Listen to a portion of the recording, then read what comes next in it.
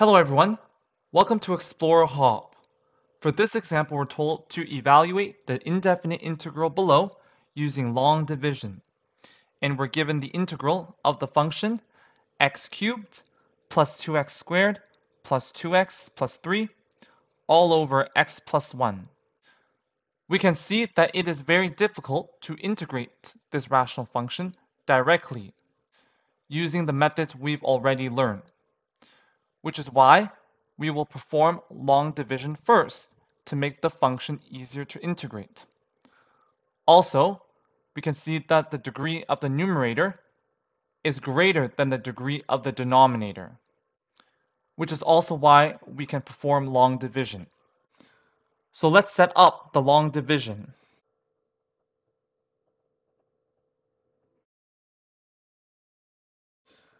The dividend is the numerator x cubed plus 2x squared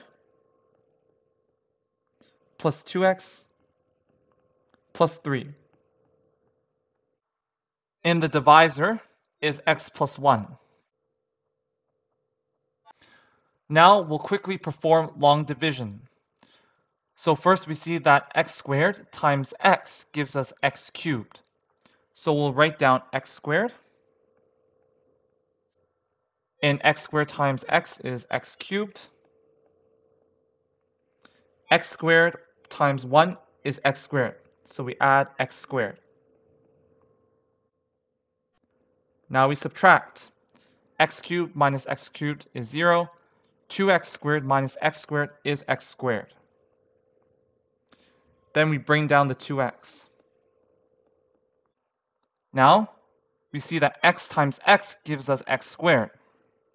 So we'll write down plus x, then x times x is x squared, x times 1 is x. Then we subtract again, x squared minus x squared is 0, 2x minus x is x. Then we bring down the 3, so plus 3. And of course, 1 times x gives us x, so we'll write down 1. So 1 times x is x, and 1 times 1 is 1. So plus 1 and subtract. And this gives us 2, which is the remainder. So this means that x cubed plus 2x squared plus 2x plus 3 over x plus 1 is equal to x squared plus x plus 1, which is the quotient, plus the remainder, which is 2, over the divisor, which is x plus 1. Now we can go ahead and rewrite the integrand.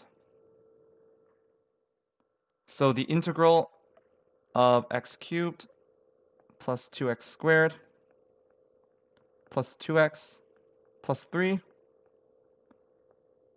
over x plus 1 dx is equal to the integral of x squared plus x plus 1 plus 2 over x plus 1 dx. And applying the sum slash difference rule and constant multiple rule, we get that this is equal to the integral of x squared plus the integral of x plus the integral of x to the 0 plus 2 times the integral of 1 over x plus 1. Now, to find the antiderivative of 1 over x plus 1,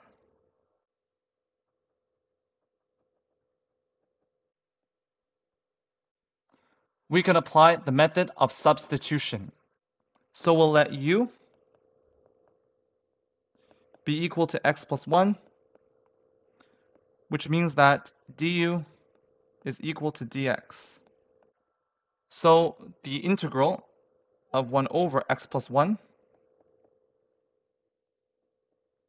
is equal to the integral of 1 over u du.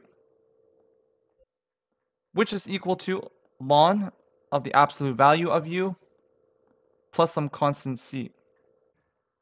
And subbing u equals x plus 1 back in, this is equal to ln of the absolute value of x plus 1 plus some constant c. Now, putting everything together and applying the reverse power rule to find the antiderivative of the other terms, we get that the integral of x squared dx plus the integral of x plus the integral of x to the 0 plus 2 times the integral of 1 over x plus 1 dx is equal to x cubed over 3 plus x squared over 2 plus x plus 2 times ln of the absolute value of x plus 1, then plus some constant c. And this gives us the antiderivative of our rational function. Therefore, the integral of x cubed plus 2x squared plus 2x plus 3 over x plus 1